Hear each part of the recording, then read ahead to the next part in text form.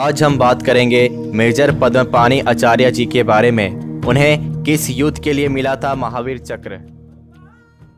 Major आचार्य का जन्म तेलंगाना के हैदराबाद में हुआ था।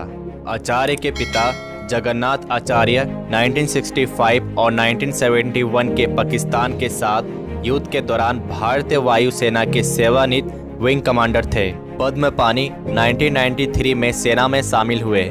मद्रास में ट्रेनिंग के बाद पद्म पानी को राजपूताना राइफल्स में कमीशन मिला। 28 जून 1999 को राजपूताना राइफल्स के मेजर पद्म पानी आचार्य को कंपनी कमांडर के रूप में दुश्मन के कब्जे वाली अहम चौकी को आज़ाद कराने की ज़िम्मेदारी सौंपी गई। यहाँ दुश्मन न सिर्फ़ अत्याधुनिक हथियारों से लैस था बल्कि माइंस बिछाकर रखी हुई थी। मेजर आचार्य की अगुवाई में फोर्स ने फायरिंग और गोलों की बारिश के बीच अपना अभियान जारी रखा। मेजर पद्म पानी को कई गोलियाँ लग चुकी थी। इसके बावजूद वो आगे बढ़ते रहे और बहादुरी और साहस से पाकिस्तानियों को खदेड़ कर चौकी पर कब्जा किया। हालाँकि खुद मेजर पद्म पानी आचार्य इस मिशन को पूरा करने के बाद शहीद हो गए। मेजर पद्म पानी आचार्य के वीरता शौर्य और कर्तव्य के प्रति उन्हें भारतीय सेना के दूसरे सर्वोच्च सम्मान महावीर चक्र से सम्मानित किया गया।